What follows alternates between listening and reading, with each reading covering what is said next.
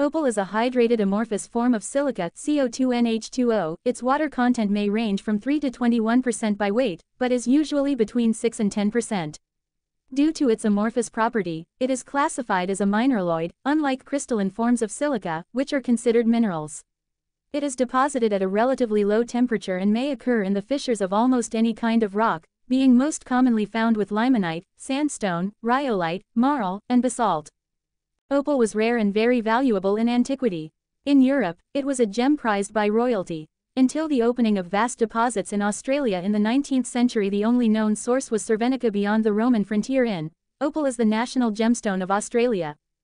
The primary sources of opal are Australia and Ethiopia, but because of inconsistent and widely varying accountings of their respective levels of extraction, it is difficult to accurately state what proportion of the global supply of opal comes from either country.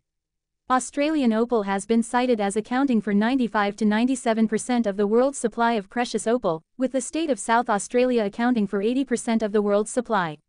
In 2012, the town of Coober Pedy in South Australia is a major source of opal.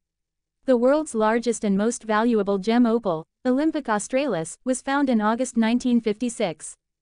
The Mintabie Opal Field in South Australia located about 250 kilometers 160 miles northwest of Coober Pedy has also produced large quantities of crystal opal and the rarer black opal. Over the years, it has been sold overseas incorrectly as Coober Pedy opal. The black opal is said to be some of the best examples found in Australia. In the Middle Ages, opal was considered a stone that could provide great luck because it was believed to possess. Dot and thank you for watching my video make sure to subscribe to my channel. Opal is a hydro